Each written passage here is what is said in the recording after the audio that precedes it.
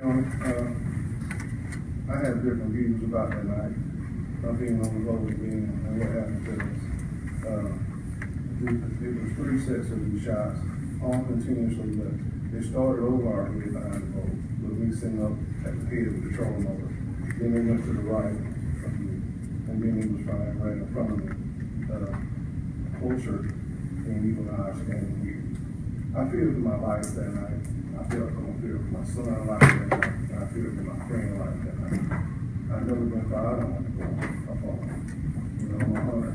And I know when I put a gun out, you know, and I see my trailer or whatever, I'm shooting at, I know what I'm trying to do.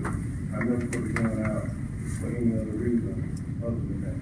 Uh, there's not a day go by that I don't think about this incident. Because that's what I did. I fished out there, what saw the opportunity that I had. That's why I was raised with doing My grandmother left the Georgia State Railroad.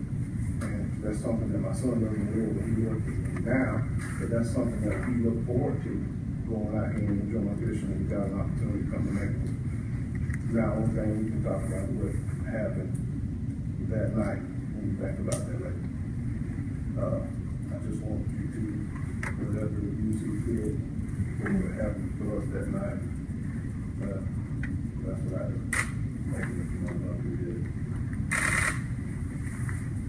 And Mr. Smith? For the record, um, Mr. Miles' son is seated on, on the front row with him. Yes, sir. Um, Mr. Smith, please tell the court, uh, what like to say. Now okay. Thank you, Judge Simpson. I'll speak. That night we were fishing. We were just fishing. We were fishing. And the shots rang out. It got from me. I was, it was like, I couldn't believe that this guy, the young man, was shooting at us, you know. His attorney may say that he was shooting at the water. Why? That was no reason for him to want to shoot at the water. We were in the lake. He saw us in the lake. Went back, got his weapon, came out and shot at us. Not at the water, at us.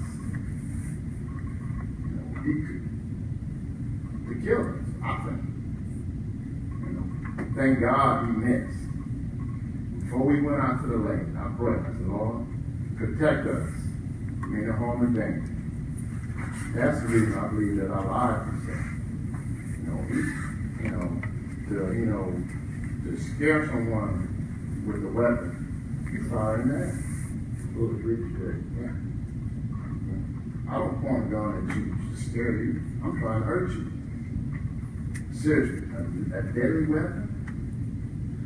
It just, it just, you know, you uh, know, that was my time to go to Lake. Me and my wife would go on fire. That was our date night at Lake Brookside. And it's, and it's, I get an uneasy feeling about it. You know, I said I wasn't gonna go out to lake, and the person said, don't let that scare you. So I decided one afternoon to go on my coworker. to. We pulled up to a large house, and my heart started beating fast. I, it was someone else gonna come out and shoot us again. You know, it, it's, it's, it has affected us in so many ways, you know. You know, when it first happened, you know, you go to work, you got your coworkers, pop, pop, pop. You know, that, you know, is something that's gonna be with us for the rest of our lives. And it's, and I just hope that you understand our situation, how we feel about this. I mean, just,